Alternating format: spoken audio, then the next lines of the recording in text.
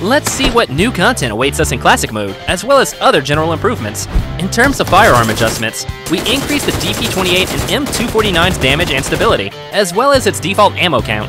It now comes with a full clip of 47 bullets when first picked up. At the same time, the DP28 and M249 can now be equipped with the gun shield attachment. Once equipped, it'll automatically unfold when players lay prone to help block enemy gunfire.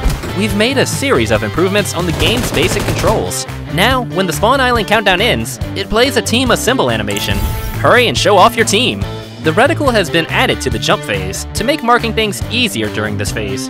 Concurrently, the light column that shows after marking something now shrinks as a player gets closer to avoid it blocking your view. Upon equipping a throwable in a match, the throw arc now appears immediately to better gauge where something will be thrown. Also, the throw arc is no longer interrupted by glass windows. We have added firearm ammo type descriptions to the pickup list to make gathering suitable supplies more convenient. The carry system has also undergone adjustments. When being carried by teammates, players can choose to break away.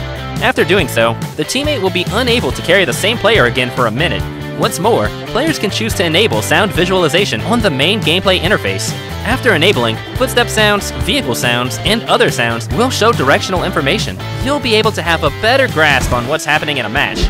We've also upgraded creation mode. Players can now switch outfits, select loads of scene special effects, and display companions in creation mode. For more details, follow our official PUBG mobile community.